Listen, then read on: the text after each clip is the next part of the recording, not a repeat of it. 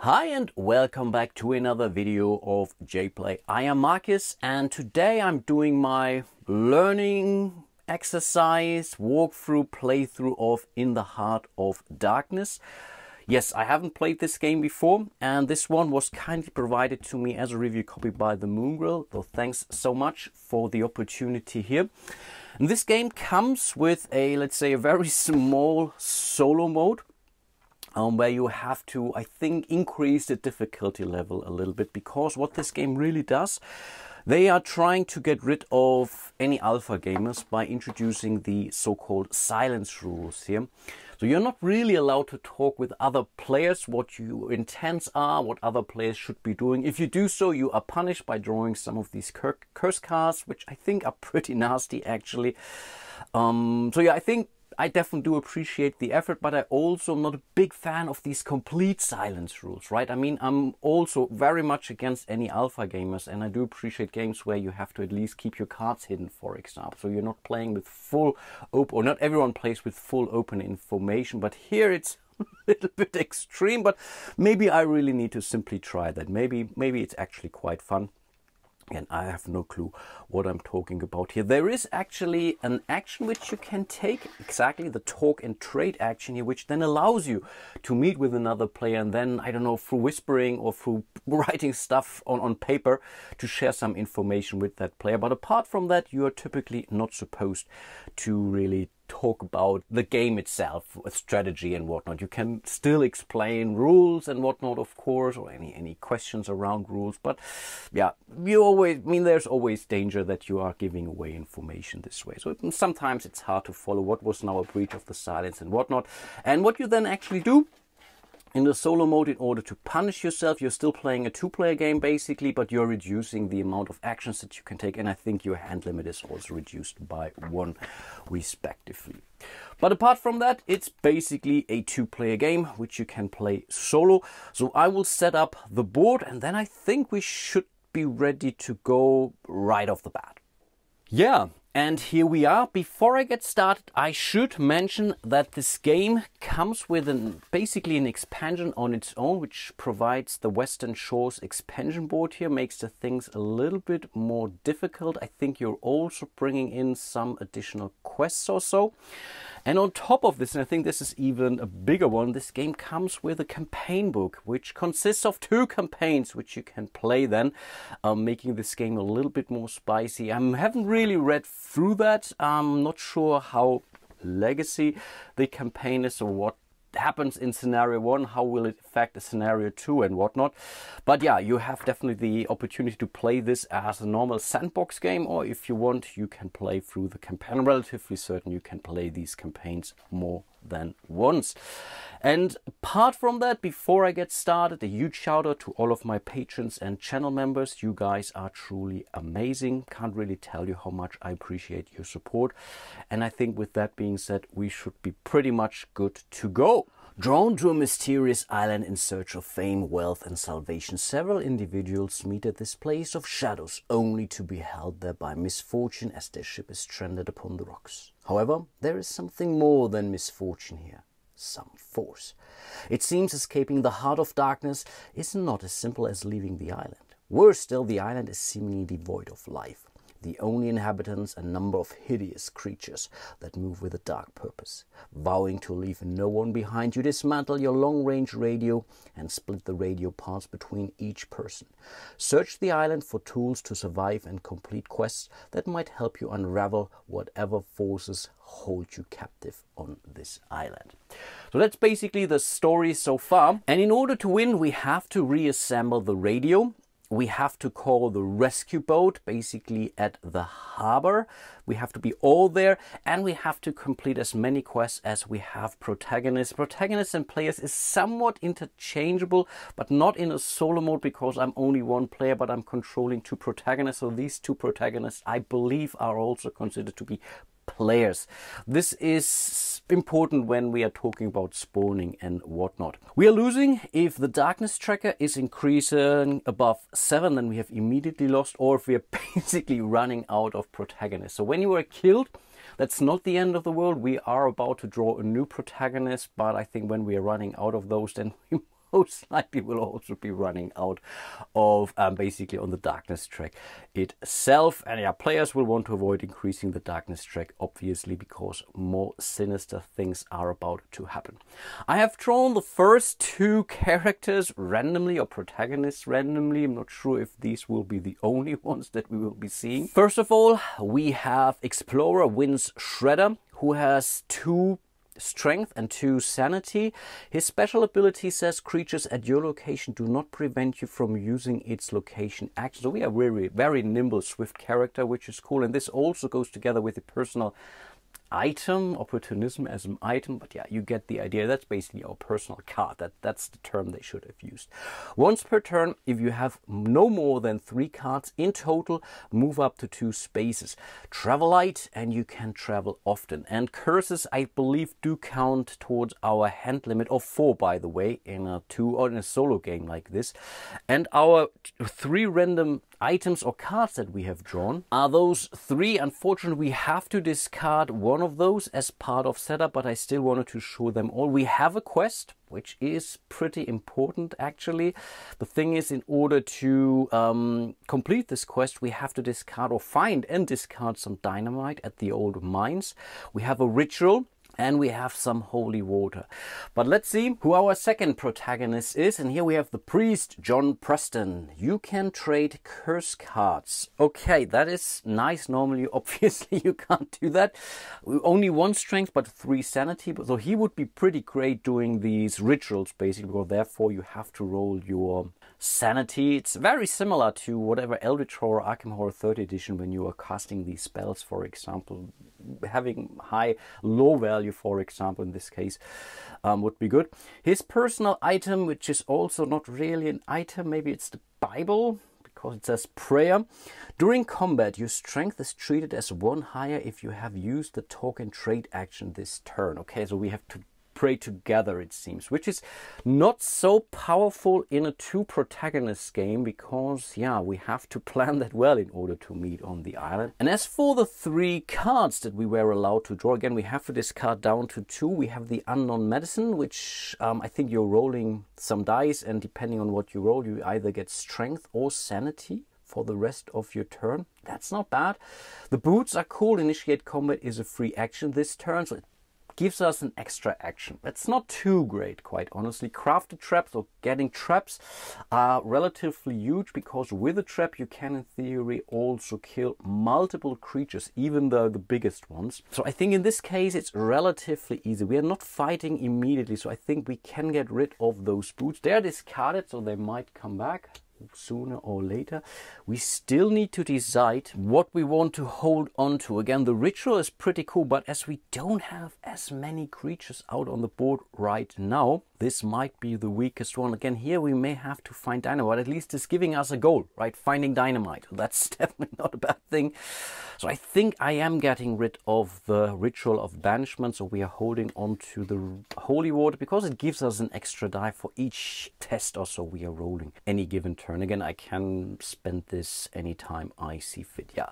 Let's do that. Both of our characters are starting down here, basically at the stranded ship locations. This is where our ship has stranded. It doesn't look so broken to me, but who knows? And overall, this is the island we are trying to explore. Because we are already here at a loot location, I think this is something worthwhile. Maybe we will find some dynamite rather sooner or later. Um, we have some gates out here, which right now are still protecting us from any potential monsters or creatures. Creatures, I believe. They're referring to here. We have some more loot locations. Here we have some tunnels, so we can move from tunnel to tunnel.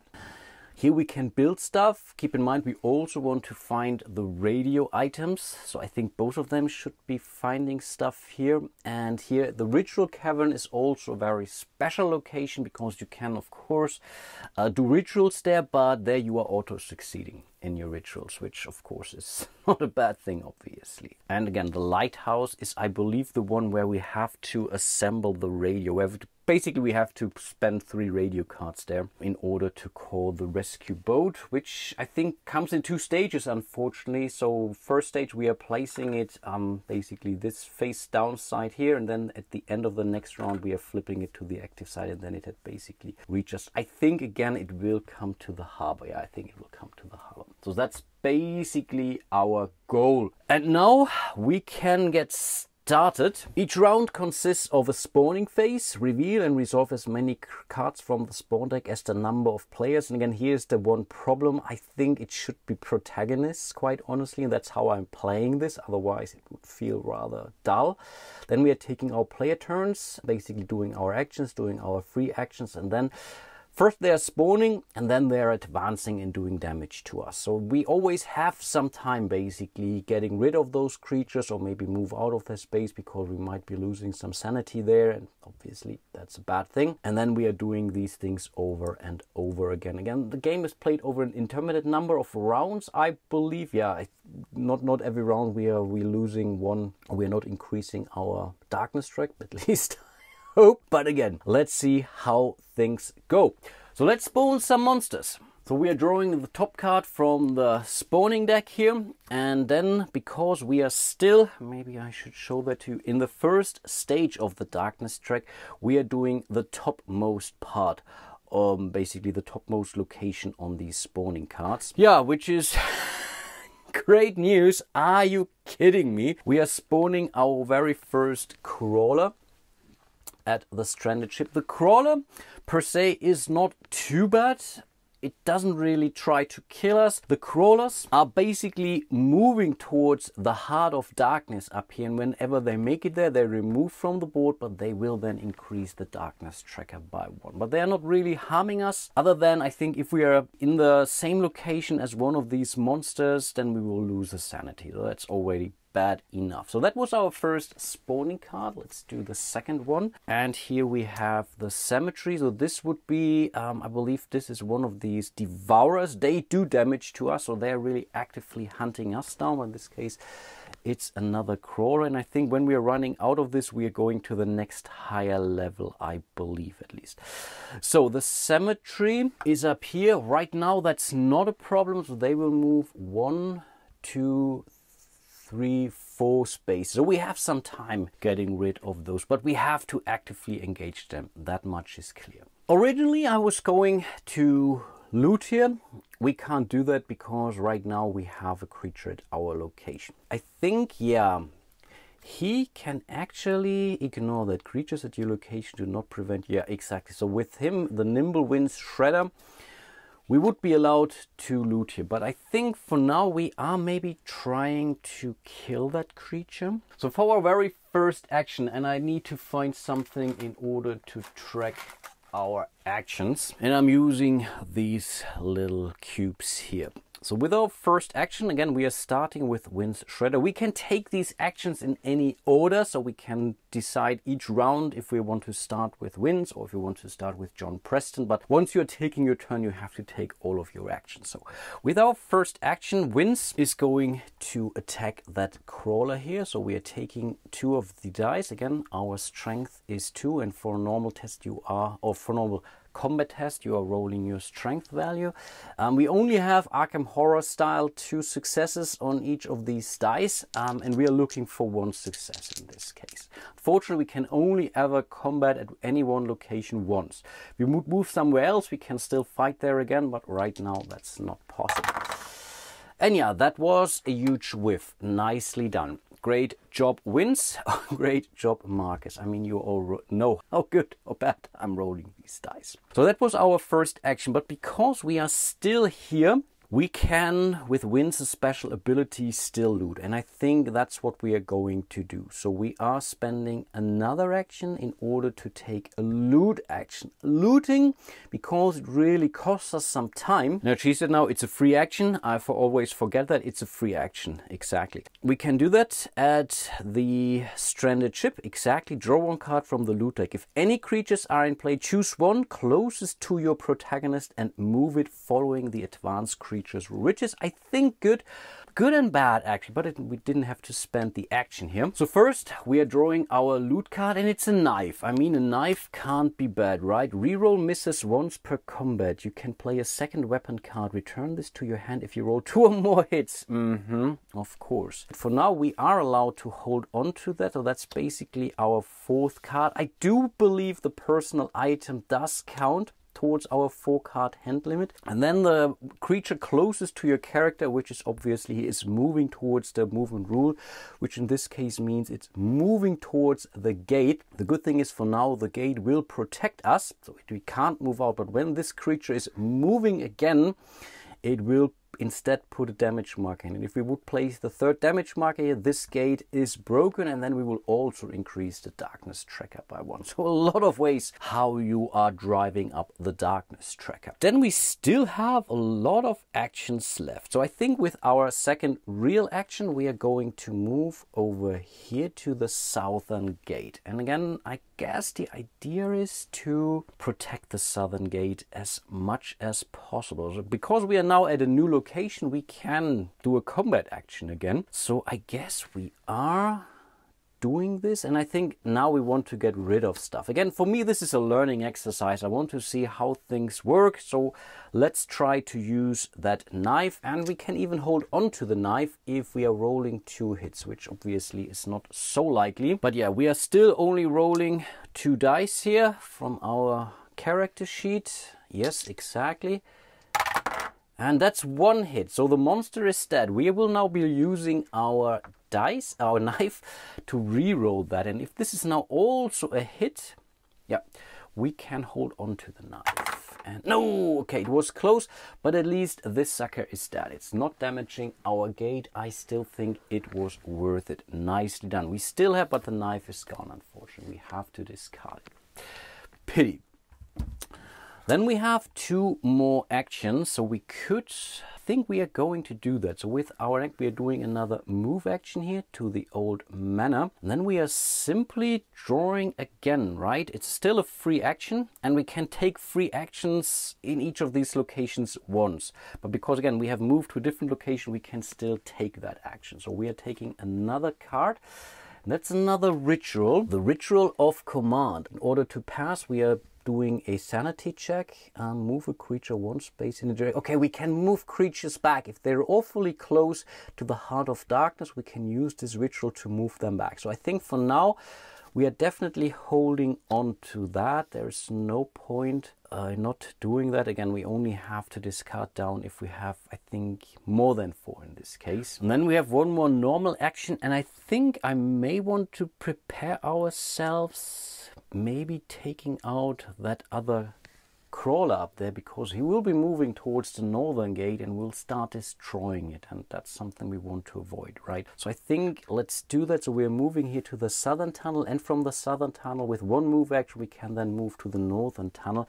Unfortunately we can't use our opportunism. If you have no more than three cards in total move up to two spaces. So we cannot use it right now but i still think it is quite okay because more creatures might be spawning so maybe we want to take out something else in between between. But I think because we looted exactly, we have to move that monster now to the northern gate. And that's basically the end of Vince's turn. You see, it's a very super simple game. And as of round two or three, can really play this game like tac tac. Over to John Preston, the priest. You can trade curse cards. I'm not sure if that's a good thing. Oh yeah, one thing I shouldn't forget. Whenever we are entering the heart of darkness, we will immediately gain a curse. And I think there are some discard conditions on those cards. They will clog up your hand. And if you have four or more curses, yeah, then you have basically been defeated as well. But yeah, still, what is our priest going to do? I guess we also need to start looking for stuff down here, right? So we have five actions here. And again, this doesn't cost us any action. It's a free action at our location. So yeah, let's loot. That's a free action. Keep in mind. So we are looting. Oh, a pistol. That can't be bad, right? Plus one dice in combat. Nice. You can play a second weapon card together with a knife. This could be nice. And we are Oh, we return this if we roll one or more hit. Okay, that's really nice. Okay, that's much better than the knife. And that's something that I read on The Geek, um, a small solo review that um, there is definitely a lot of randomness and luck involved in this game. Or maybe if you are unlucky, like me, um, then you're basically out of the game relatively soon. So we have looted at this location, which again means they're starting to damage the northern gate. So it would move, it can't move because of the gate. So they're starting to shaking out that gate and whatever, banging their claws and whatever against it. So two more and the gate is broken and we will start to increase our darkness tracker here. First one is still okay-ish. yeah, still, we don't want to see that quite obviously. So then we have our actions. What are we really going to do? Are we searching again? Can we try to defeat that creature up there? One, two, three. Guess we can move up here four.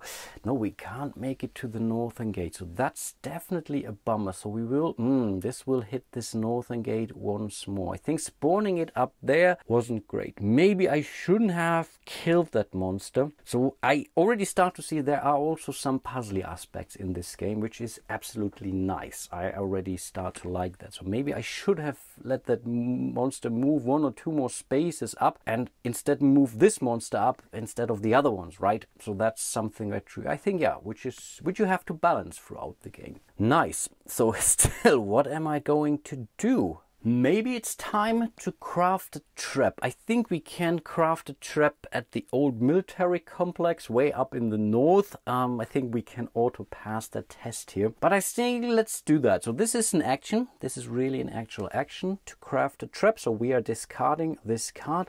We have to roll a test, which is a strength test, unfortunately. So it's not very likely that we are going to pass the test. On the other hand, we could go for the unknown medicine, but the unknown medicine could increase our sanity, which wouldn't be great, right? Yeah, exactly, exactly. So no, I think we are only rolling one die Maybe I should have traded this. Oh, that was also bad. I should have traded this trap to Vince because he would be rolling two dice. But anyway, I will try that now again. I'm learning this game as I go, and of course it's a miss.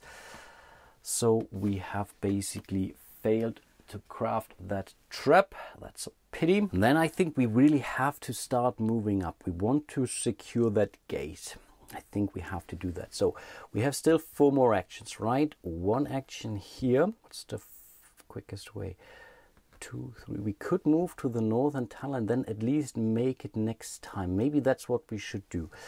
Second action to move in here. I don't want to loot again because then we will definitely lose the gate up there um, then we are doing this and with our last action we are moving from the southern tunnel up here to the northern tunnel and from there we should be able to make it with two movements over there. Whatever might be spawning i think we have to spread out a little bit. Yeah i think so. So that's basically the end of the round uh, end of our action phase that is. Now we will advance the creatures. This creature wants to move towards the Heart of Darkness. Right now it can't, so it's damaging the northern gate again. As long as it's only quote unquote damaged, we can still repair it. That's the good news. But they, these are all the monsters that we're advancing. We are not suffering any sanity loss because we are not at a location with monsters. So we can basically move into the next round of the game. Nice! Let's draw our very first spawn card. It's again the cemetery and it's still a standard crawler. Right now nothing else will happen there, but you already see the problem with this gate here. But once this gate is destroyed, it's destroyed, right? So then, then yeah, floodgate is open. And then we have at the northern gate. Oh no, are you kidding me? Another crawler, right? Okay. Mm. Okay, what can we do about it? The problem really is each character can only combat once per location. That's the problem. We can't spend five of our actions to try to get rid of these creatures. That's not possible. Now I'm really a little bit frustrated that I have discarded the ritual of banishment, right? Kill all creatures at one location containing any protagonist. So someone could have moved there. Maybe we could have traded this to the priest. okay, but yeah, I made my choices, I made my bed.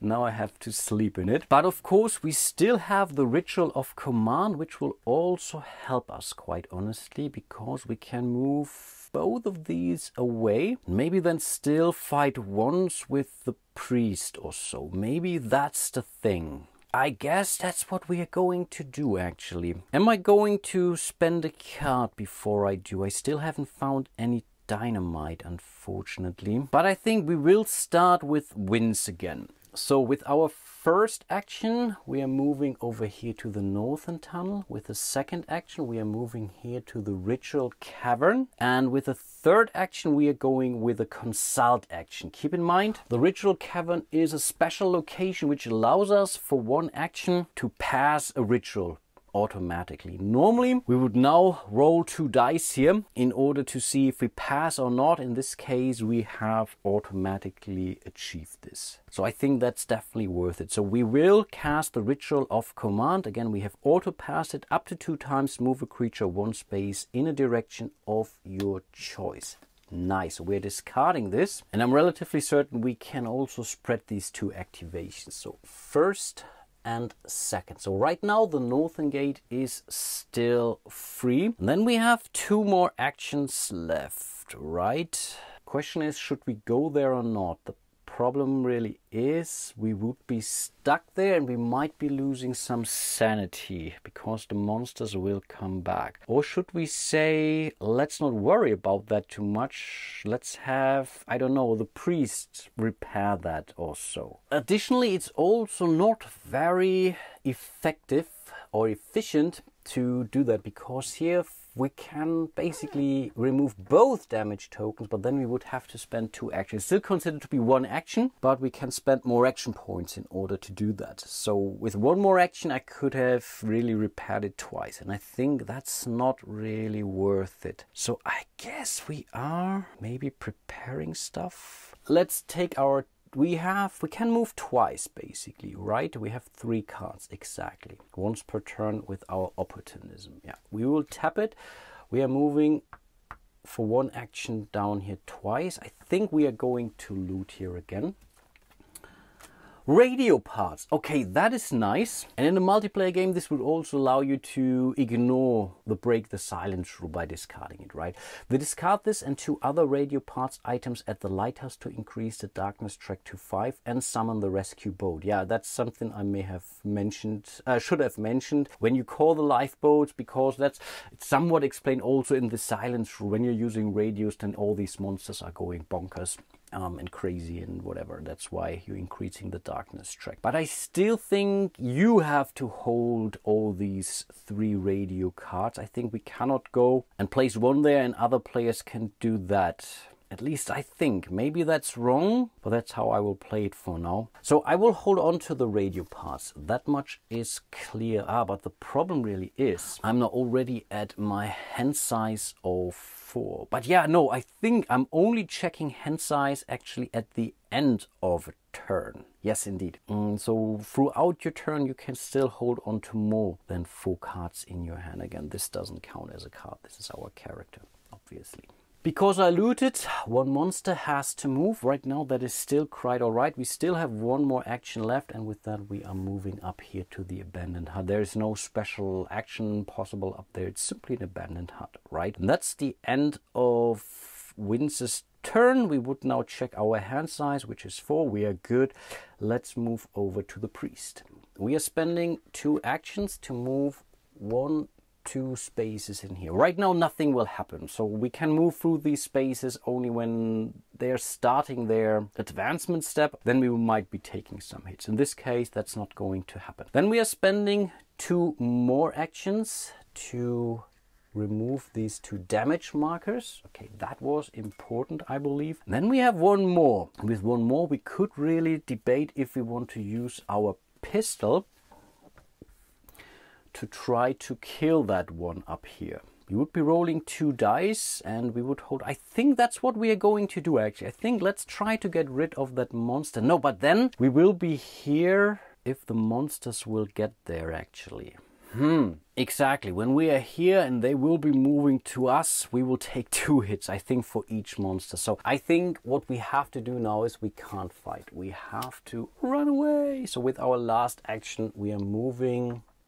Hmm, does it matter? I think we are moving in here because there we could possibly trade or trade and talk. And the trade and talk with the prayer gives us, I think, um, plus one or so on a die roll, which is never a bad thing. Yeah, I think that's already the end of the round again. So let's do the movement. The first creature here will damage the northern gate again. But right now that is still quite alright. Then these two folks will move over here. And again, oh, wow, three with this ritual. This have been so perfect. I'm such an idiot. But I didn't know that they're coming out all at the same location. I mean, who could know that? But that's basically their advancement and also, yeah, more or less the end of the round. We haven't lost. Hooray! We haven't won, hmm, but we are moving into the next round of the game. And I think I will do one more round this video and then I will call it. Uh, just to give everyone some time to correct me. I'm pretty sure I've made some goofs, maybe some rules I may have missed to mention. I very much appreciate your input there. So in this case, let's go back to the start of the round. Strangely enough, we are still in stage one. So let's draw our first card. Oh, and we see our very first event.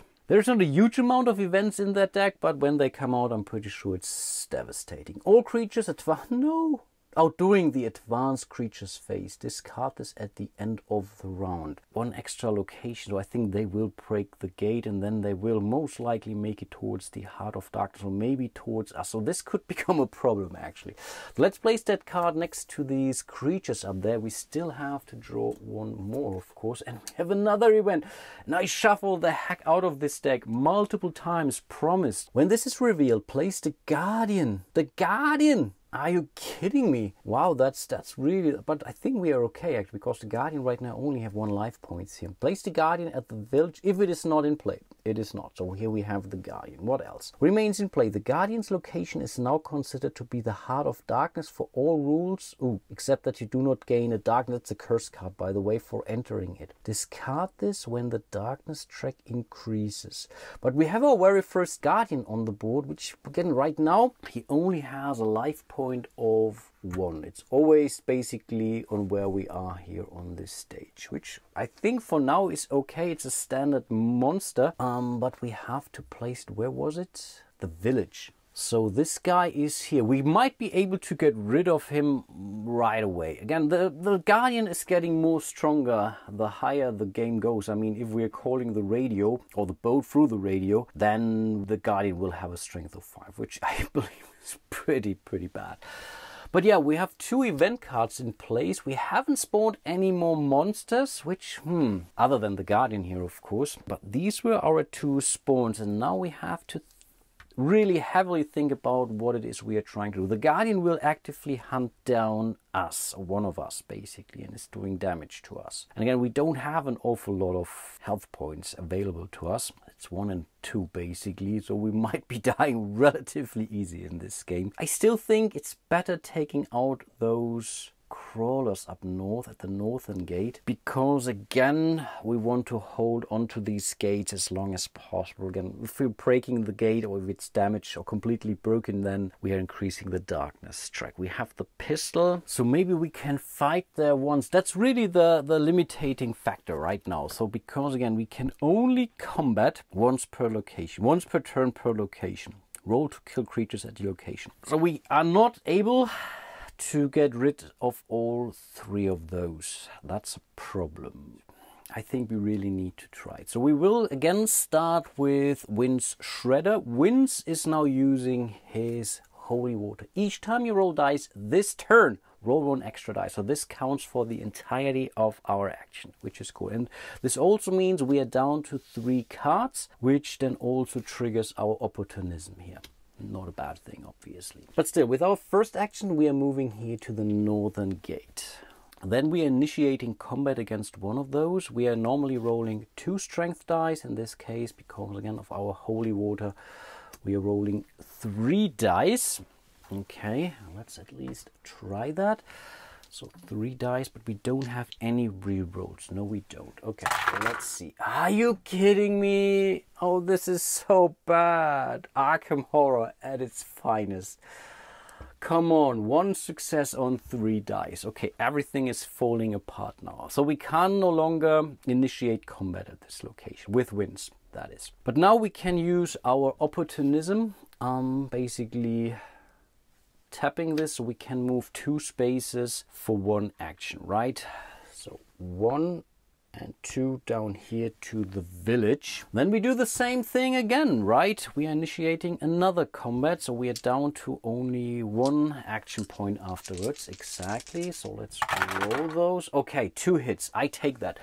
So the Guardian is out of here. Nicely done. We are removing this. Apart from that, we are not gaining anything, but at least we are also not losing anything. And now something we have to consider. We still have that extra die this round, but I don't think we can properly use it. We could now really say that we are abandoning this gate for good and say we are now going for another loot action here. Maybe that is something we may want to consider actually. Then one of these fellas will move we could have looted first actually, but now I rolled dice. Then this guy would have moved. No, then I think, we, yeah, we could still have done it somehow. Yeah, again, ah, that's something where you have to think through your turns. So uh, there's really a puzzly aspect in this game, which is really good. Yes, there is luck. You're rolling dice. You're hoping for the right cards, but you always also have to think through your turns. You cannot simply, whatever, be headstrong and, and storm towards the gates. Will we be able to repair enough?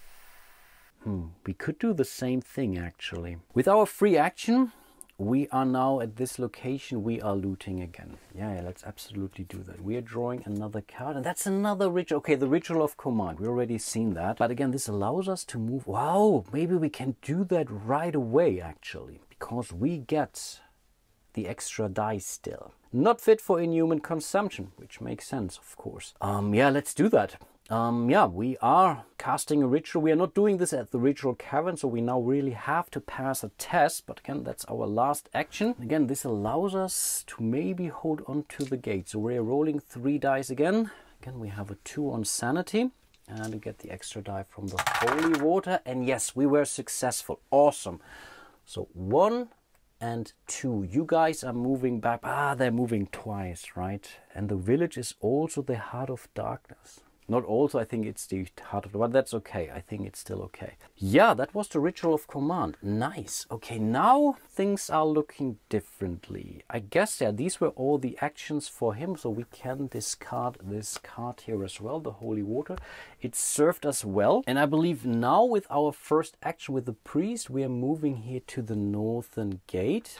Now we will be using our pistol because we have enough action. So we're getting plus one dice and we should have really traded and talked. So we're only rolling two dice. We could play a second weapon card. We don't have a second weapon card. No, we are rolling these two dice. We're getting this back if we're rolling one success. If we don't, that's bad anyway, right? And yes, this is a success. Nicely done. Okay, this crawler is no more and we can hold on to the pistol. That was huge. Then we are spending a third action to repair the gate. I think we can hold on to the gate one more round, which is nice. Yeah, it's really good. And then we have still two more actions. We definitely need to move out of here. That much is clear because if we are here, these guys will, yeah, they will kill us.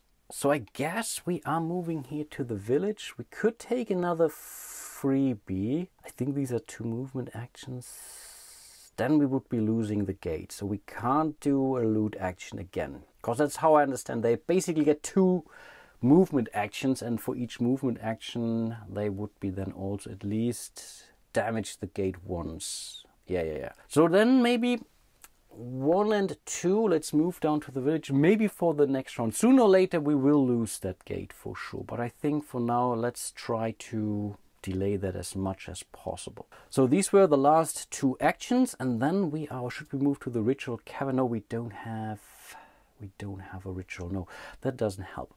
So now we will be doing the advancement step of the creatures, the crawlers up there. All creatures advance one extra location doing the advanced creatures. So one, two, that's at least my understanding. That's I'm going to play that. And then the same thing here, one and two. So the gate is still very much alive. Nicely done. We can still now debate if we want to continue to repair that. Um, and maybe at some point in time we at least want to get rid of one more of those crawlers because then we have them under control. With three, this was really a problem. Now they're down at two. And I think with one we can manage. At least that's how I think. But there will be more creatures spawning. So what now we can get rid of this event card here. I believe this event card up here is still valid. Discard this when the darkness track increases. So remains in play the Guardian's location. Ah, the Guardian's location is now considered to be the heart of darkness for all rules I see, I see. Okay, it's not just the village, it's basically wherever the guardian is, wherever. So if then crawlers would move in there, we would then increase the darkness from there. Um, I think a card is still there because it could spawn before we are actually increasing darkness. So yeah, I think this will have to remain in play for now. But I think with that being said, I will call it for today let me know what you think. Definitely let me know if I made any rules goofs or if I misinterpreted some of the rules. Then I still have some time to repair that maybe in my next video. And I think I have found the part in the rules where it says a player at the lighthouse can play three of these at once. Basically those radio cards. So this answers my question I had. So I cannot go there, discard one card and then whatever go on with my other business. No, I have to to do that basically as one, let's call it action. I think it's not even an action. Doesn't really say, is that an action? I don't really know. But anyway, that's something I have to consider. Maybe I have to hand over these radio parts to the priest or so because I want to keep my item level low in order to move as quickly as possible. But anyway, I really hope you are enjoying the game so far. I'm actually having a blast here. I quite like it so far. I already start to see where I'm wrong and where you really have to yeah, think through your turns in advance in order to optimize your action efficiency and whatnot, or your action points efficiency, and in which order you are doing things. So this definitely does matter, which again is something I do like. Again, I like a good narrative in a game, but it's also cool when you can somewhat game the game a little bit. And doesn't have anything to do with In the Heart of Darkness here, but that's something which I very much enjoy about Arkham Horror the third edition, because from all the other games out there um, in that universe, this is the one which you can game the most. It's very balanced compared to other chaos chaotic games like Eldritch Horror, Arkham Horror Second Edition or so, which I also do enjoy. I like them a lot as well. No, no questions asked here. But again, the third edition is really, if you haven't played these of games with Eurogamers, then definitely play the third edition because you have at least some level of control. That's how I feel about this game anyway. So yeah, that's basically the first episode of my playthrough of In the Heart of Darkness. Again, let me know what you think, share your thoughts, let me know what I should be doing next. I'm always open for advice. I definitely need your help. that much is clear. And yeah, with that being said, hope to see you soon in one of my other videos. And yeah, until then, Bye bye.